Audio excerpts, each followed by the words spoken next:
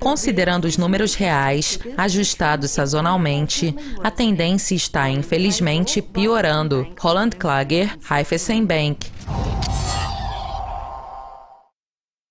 A taxa de desemprego da Suíça tem registrado níveis mais altos do que o comum e, em dezembro de 2015, atingiu uma máxima de mais de cinco anos. Desde então, a taxa tem caído e os números para abril divulgados na terça-feira vieram de acordo com as expectativas do mercado, mostrando uma queda para 3,5% em comparação com os 3,6% registrados em março. Será que esses números representam a real saúde da economia no momento ou estão dando a impressão errada? Infelizmente, essa não é a tendência do mercado de trabalho suíço. A recente melhoria é toda baseada em fatores sazonais.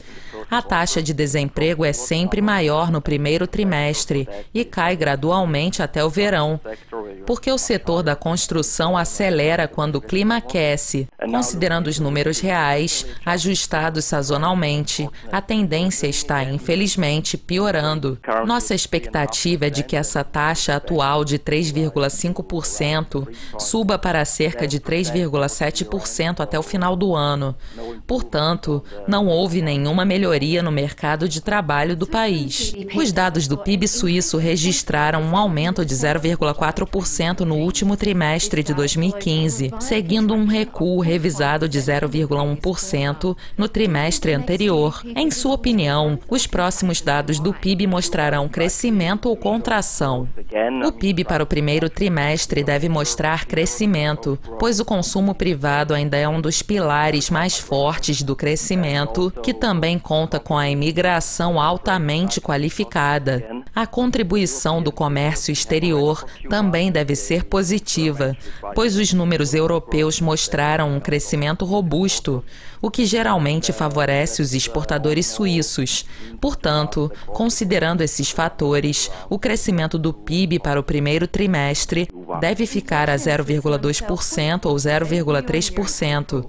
A inflação na Suíça caiu 0,4% em abril na comparação anual, registrando a menor queda desde dezembro de 2014, enquanto os preços de alimentos, lazer e atividades culturais se recuperaram. Os preços de artigos de vestuário subiram e os preços de energia e transporte caíram a um ritmo mais lento, por causa do aumento dos preços do petróleo. Qual é a sua previsão para a inflação em maio? Em se tratando da inflação, muito depende depende dos preços do petróleo, e se eles permanecerem acima dos 40 dólares o barril, a inflação poderia aumentar ligeiramente.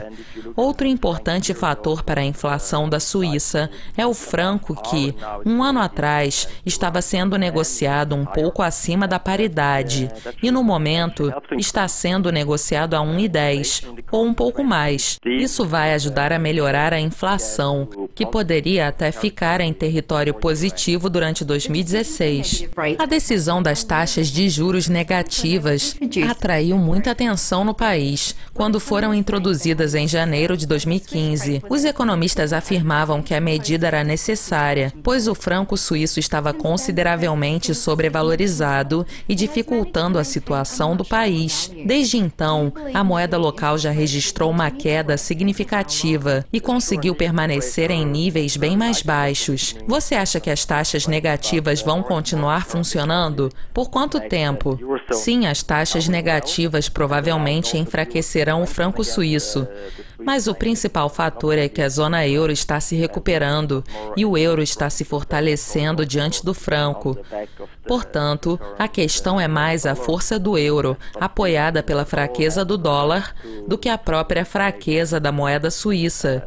Isso tudo está apoiando a desvalorização do franco diante do euro. Outro fator, que talvez seja mais importante do que as taxas negativas, é a incerteza sobre uma intervenção do Banco Nacional Suíço para manter a moeda fraca, contanto que o Banco Central Europeu mantenha sua política pelos próximos dois anos anos, o Banco Central Suíço não terá razão para alterar suas taxas de juros negativas, que devem ficar a 0,75 ponto base negativo.